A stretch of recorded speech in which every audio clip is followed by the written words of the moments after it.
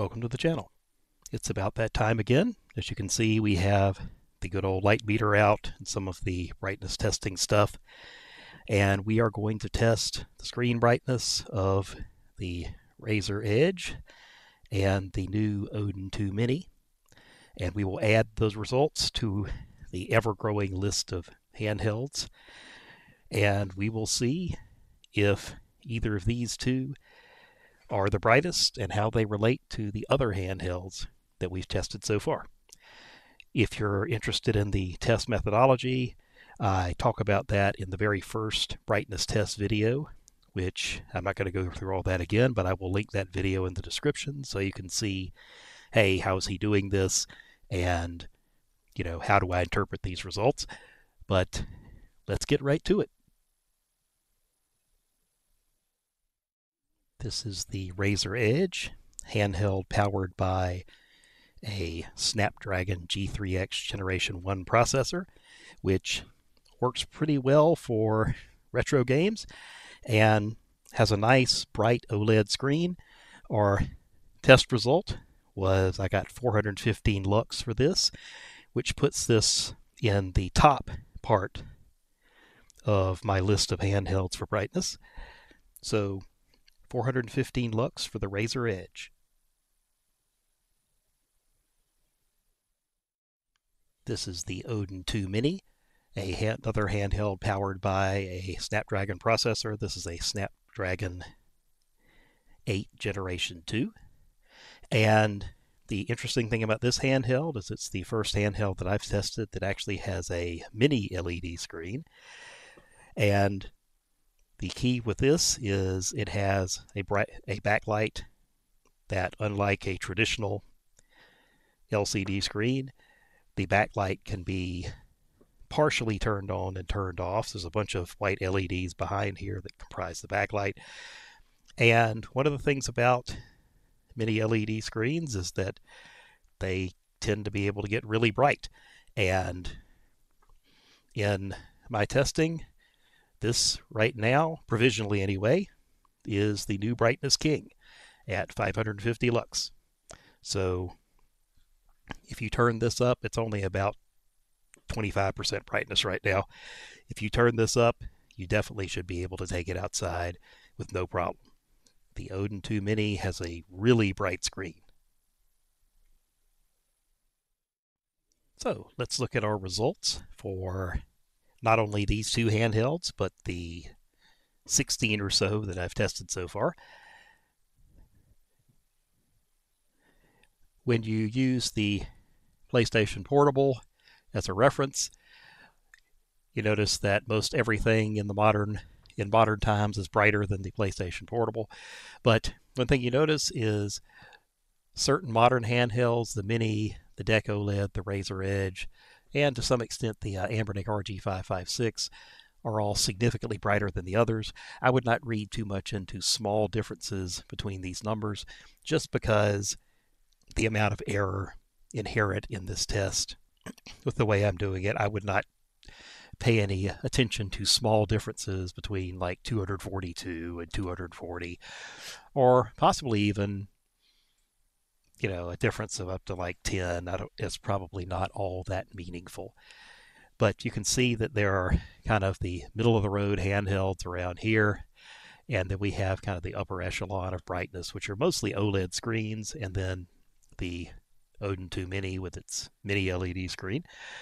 And notice that they're all way brighter than the PlayStation Portable. I remember one of the things about getting custom firmware on a PlayStation Portable was not only, of course, the aspects of being able to load whatever you want to onto the memory stick, but also the PSP had three brightness settings. And Sony, to save battery so they could claim the uh, PSP had a higher battery life, they restricted the brightness settings when you were on battery. So you could not use the brightest setting while you had it on battery. One of the things that custom firmware did was it actually unlocked the highest brightness setting when you were on battery.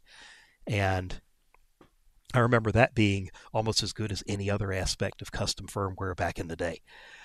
So it's interesting to see how as you get more modern systems there the screens are actually many times brighter than what you got out of the stuff back in the age of the Nintendo DS. Now the DS Lite was brighter than the DSi XL, but still those were quite dim compared to the modern handhelds. Now, of course, referencing anything to the PlayStation Portable means that all the numbers are huge. so what I did was I made a percentage chart that's based on the Odin 2, which is kind of middle of the pack here in terms of in terms of the modern handhelds. So I figured it was a good reference. And you can see using the Odin 2 as reference, see how much dimmer the old handhelds are. That is a kind of a notable one that's really pretty dim is the RG28XX. I don't have a Miyoo A30, which is even dimmer than that. But in terms of modern handhelds, the RG28XX is a lot more reminiscent of the handhelds from, you know, 10, 20 years ago. So something to consider if you're getting the RG28XX. But the new handhelds, the Odin 2 Mini is currently the brightest device I have in terms of screen brightness. Now, I will say this the Deck OLED supposedly can get brighter for HDR content. This was not tested with HDR content. This is just this is just standard. So the o, the Steam Deck OLED may still be the crown for content where HDR is enabled, but the Odin 2 Mini edges it out which is kind of not surprising because the whole point of mini LED, other than getting better contrast, is the screens are easy to make to have really high brightness because of the way that the backlight works. So the Odin 2 Mini coming in pretty high on our list of handhelds is no big surprise. Now the Razer Edge, of course, puts in a nice respectable showing here. It is a little below the Steam Deck OLED and Again, I did not do anything with HDR for the Razer Edge, so just a standard test of looking at a white image in a browser window. So, know, there will be some variation in these results if you use other parameters, but you can tell that the Razer Edge has a pretty bright screen. You'll be happy with it if you are looking for something that is pretty bright. Now, the uh, the others, you'll notice that most of the current, you might say retro handhelds kind of fall within the same range. So one's not a whole lot brighter than the other until you start getting to the OLEDs and, of course, the Odin 2 Mini. So I hope this has been a useful bit of knowledge here. Now, of course, I don't have perfect measurements because I have a cheapo light meter here and not something fancy meant for photography because, well, to be frank, if I buy the light meter, I can't get the handhelds. So, you know, that's why I test all these relative to each other and I test them in the same way so that at least these results are comparable among the handhelds in the table. And I just put this up these up here because it's really hard to see relative brightness when you're just looking at somebody's picture on a screen on a video on YouTube or a screenshot you might see on Reddit or whatever.